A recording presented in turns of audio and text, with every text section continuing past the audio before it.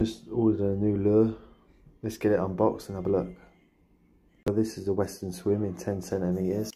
Got a nice rattle in it. I'll take it out Sunday, see if we can bag a few on it.